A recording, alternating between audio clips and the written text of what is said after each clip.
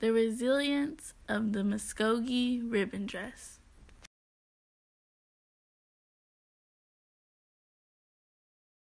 Beskida, commonly referred to as the green corn ceremony, or busk, represents not only the renewal of the annual cycle, but the spirit and tradition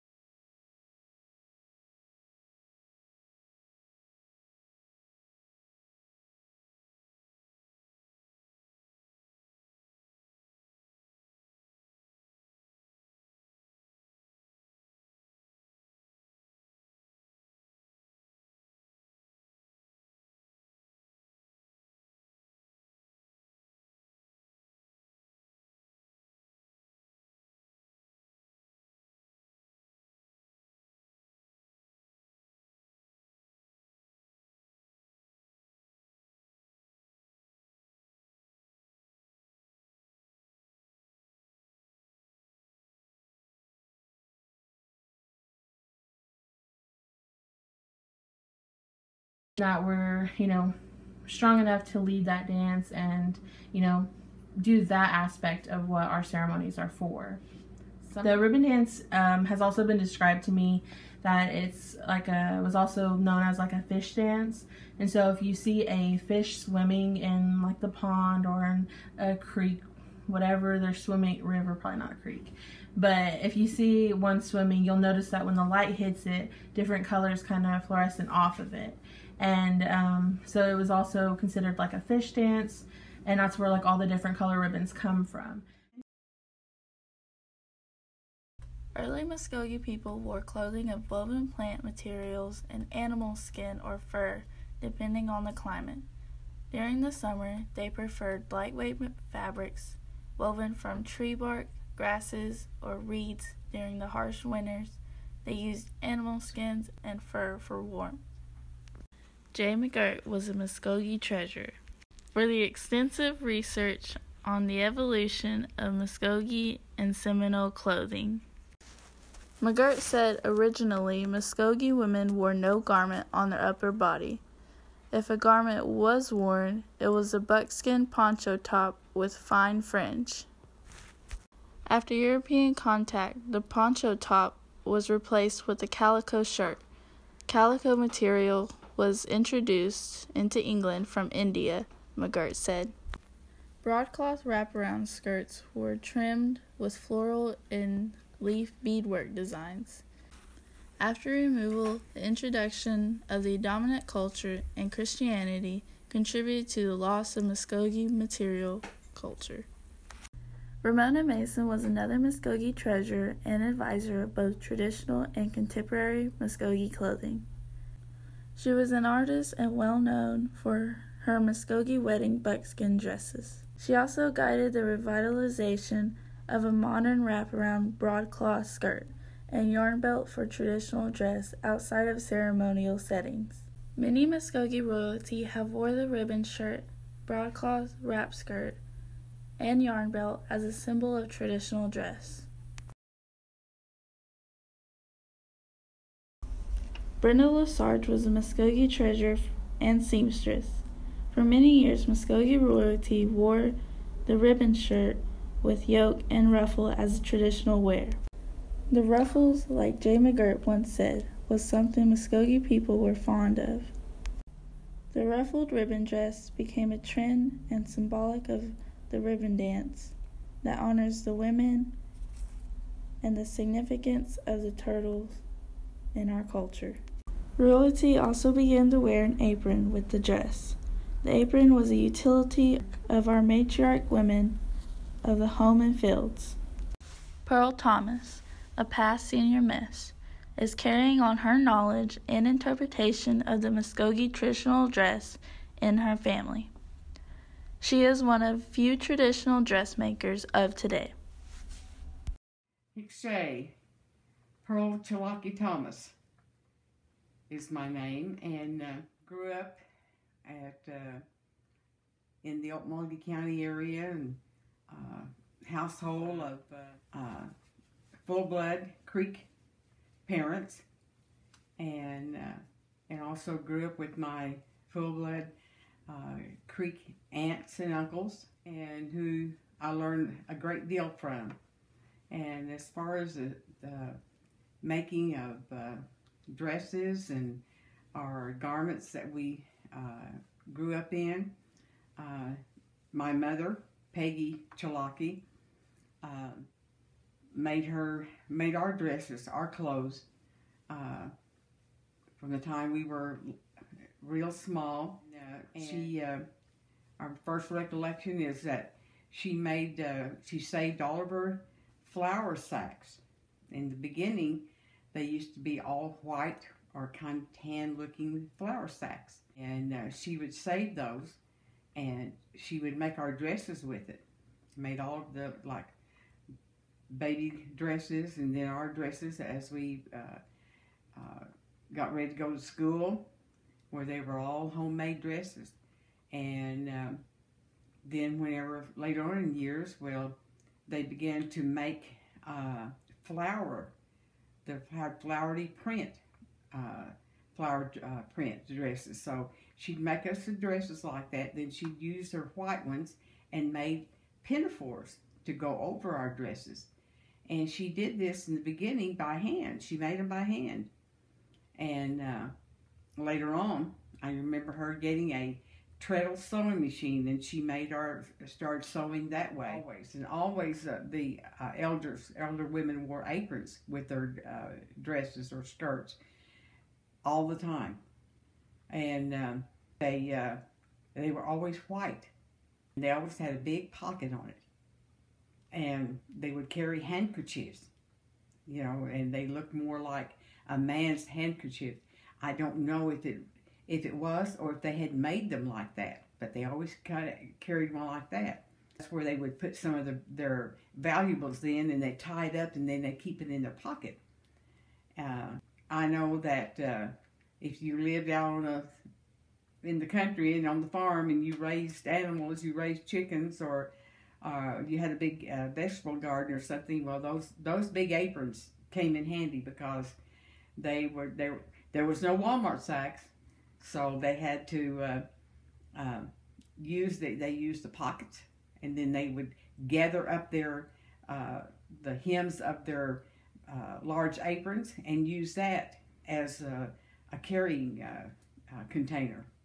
Put their eggs in, or put their vegetables in, or you know things like that. And but I can always always remember that my aunt always had aprons on, and my mother always wore aprons, and uh, and I wear aprons. I, I, I wear aprons majority of the time, and uh, I know that at church, at our camp houses, there was always aprons hanging up somewhere because Mama would always people would come over and uh, that would come and eat with us or something, they would always say, "Well, can I help? You know, can I wash dishes or uh, uh, clear the table or whatever, or put the food on the table?" And Mom would always tell me, there's aprons up there if you need one, you know, so that you won't get dirty. I can remember Mama saying that, and they would. Uh, she always had aprons, extra aprons, always there in the camp house for people to use. Two dresses here that I had made. One is my dress that I had made, and this belonged to my daughter. And I made this back in in the about the middle '90s. Um, I like the design at the time when I made this one with the round collar, the what they consider a Peter Pan collar, and uh, the three buttons opening in the front, and then it has a yoke. There is a yoke there, and uh, and at the time, that was the kind of thing what we were making. A lot of people were making, and and um, we both have worn ours, and of course, and the white uh, apron, and because um, I had also uh, was was told that the uh, uh, married women that wore the white apron, you didn't put any rough uh, any ribbon on it.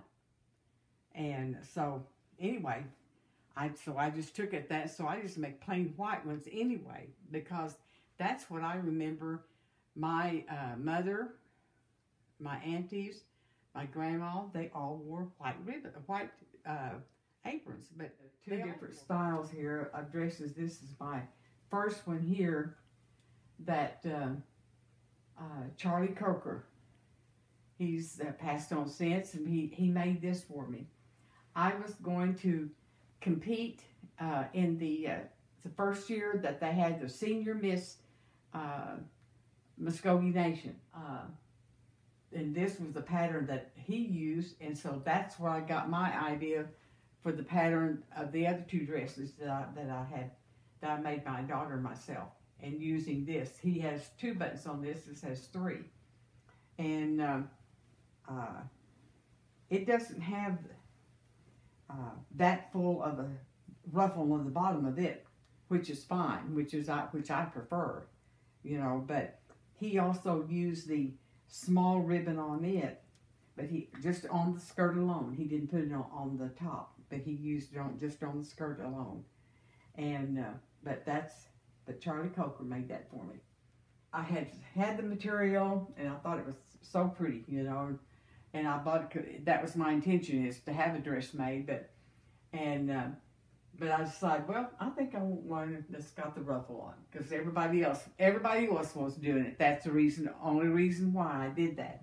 So anyway, uh, Brenda Lesarge, who's also passed on since, but she was a great maker of, of uh, creek dresses also.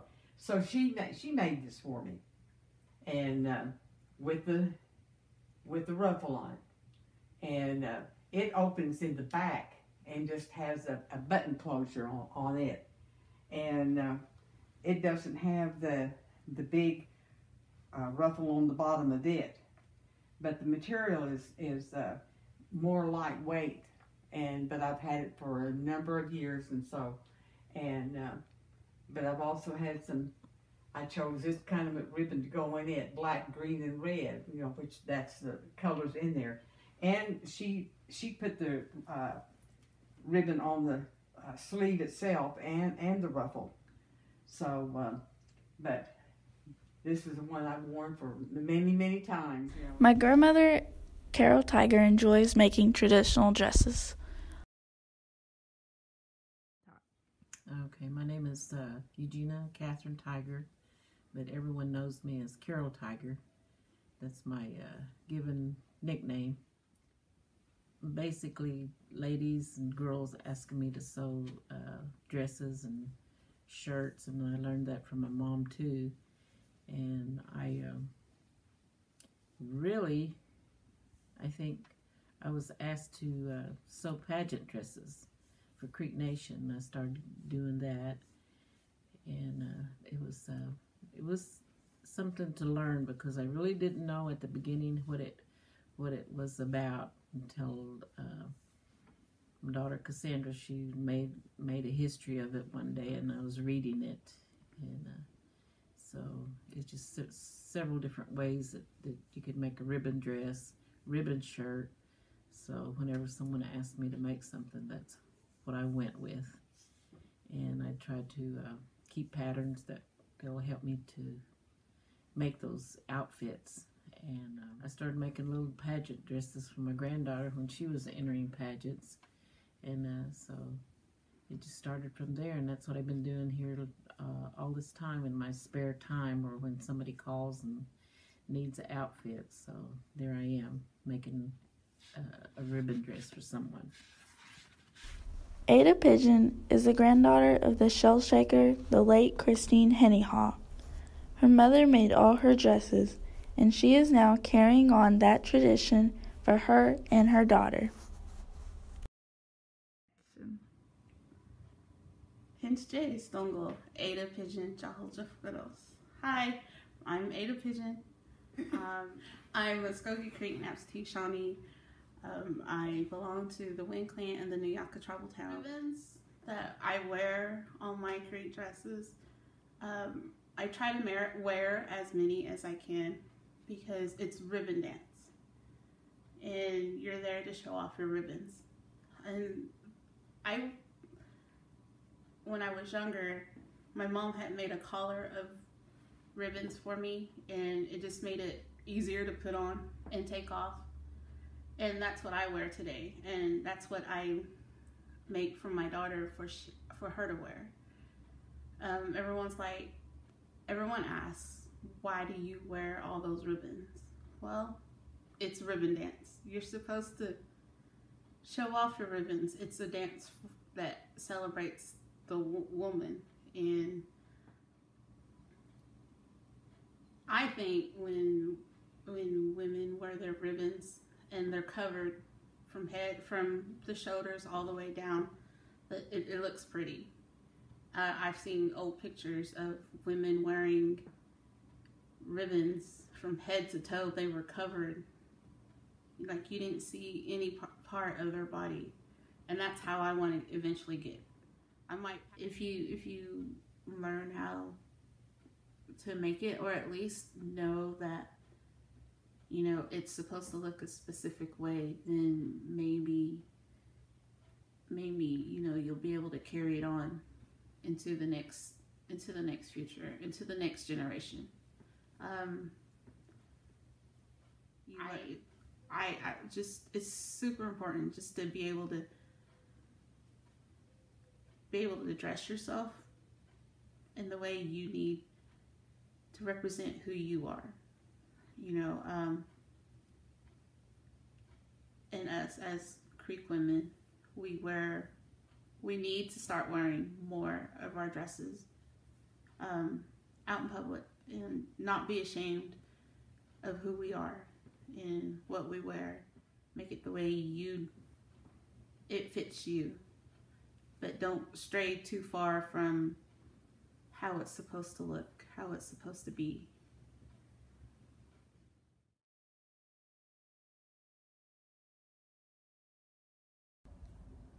History of Stonewall Louisa Harjo.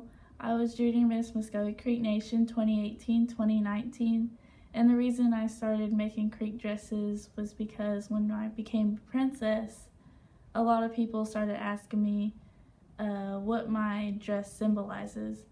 And at times at the beginning, I didn't know what to say to them. And so that's when I started doing my research on what everything means on the creek dresses. Over time, I know that traditional wear has evolved in each century that we and the reason I would like to carry it on and show more people about making dresses is because um, whatever we would tra- travel as princess, um, we would wear our skirts everywhere we went because we wanted people to know who we are. And even when we would ride on planes, they would ask, What are you wearing? And they didn't know that natives were still living. And that's why I would like encourage all people to wear just any kind of skirt or any traditional dress that you you made or your family have made and show it off and know what it means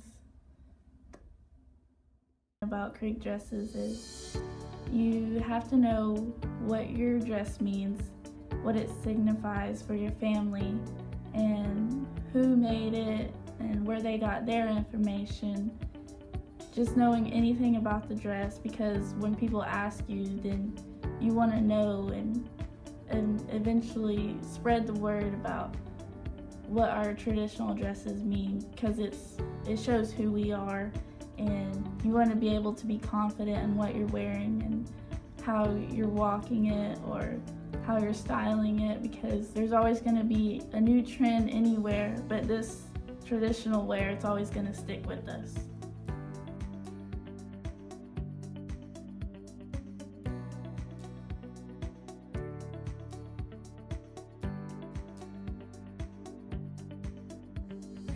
There's always going to be new trends through our traditional dresses as time goes on, but they're always going to be evolving, and you need to show it in your way too, but also keeping the traditional wear still modest and how we like to wear it, but still showing how it represents you as a Muskogee woman.